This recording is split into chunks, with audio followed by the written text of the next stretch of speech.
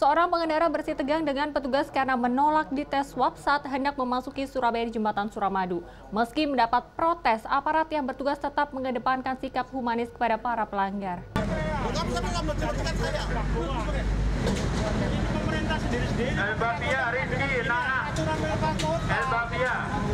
iya, saya saya. Saya ngapain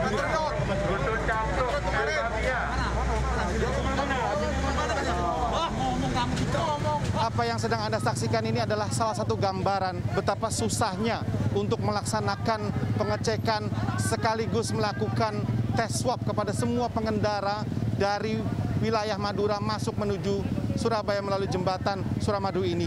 Ini adalah contoh betapa warga mungkin juga salah satu warga dari Madura memang tidak mau, sangat tidak mau untuk dilakukan tes swab di sini. Dia adalah seorang sopir yang mengangkut belasan penumpang dari wilayah Madura menuju ke kota Surabaya yang di mana sebenarnya adalah wajib, adalah keharusan pada saat penyekatan ini untuk dilakukan tes swab kepada semua pengendara yang melewati wilayah jembatan Suramadu ini.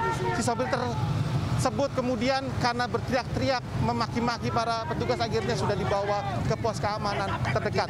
Ini adalah gambaran sebenarnya, gambaran yang menunjukkan betapa ironisnya masalah kedisiplinan melakukan penerapan protokol kesehatan. Uh, saya Data- suruh istighfar, istighfar, ingat keluarga, eman seragamnya gitu. Soalnya apa?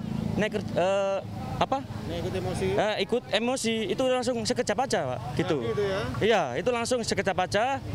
Eman dulu dulunya, dulu dulunya kan eh, pendidikannya lama gitu kan. Kalau anggota-anggota polisi lama, saya sendiri ya juga lama gitu, Pak. Untuk eh, antisipasi ya itu. Saya misal salah satunya. Tapi yang jelas Betul. ini panas-panas kita harus tetap sabar, Siap, tetap ya kontrol. betul, ya? betul, betul. Emosi Untuk ya. ya jangan emosi.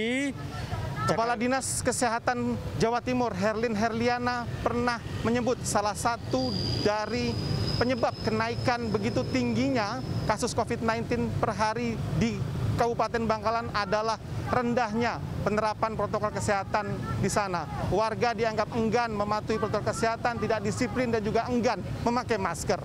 Hingga dua hari penyekatan di jembatan Suramadu ini sudah ada 75 orang pengendara yang hasil swab tes antigennya di sini dinyatakan positif. Mereka semua kemudian sudah dibawa ke rumah sakit terdekat, yaitu Rumah Sakit Lapangan Indrapura.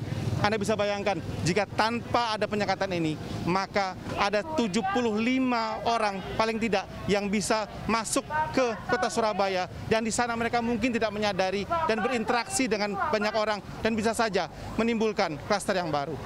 Rangga Umara, Heri Sudarmanto, Kanzadora, Surabaya.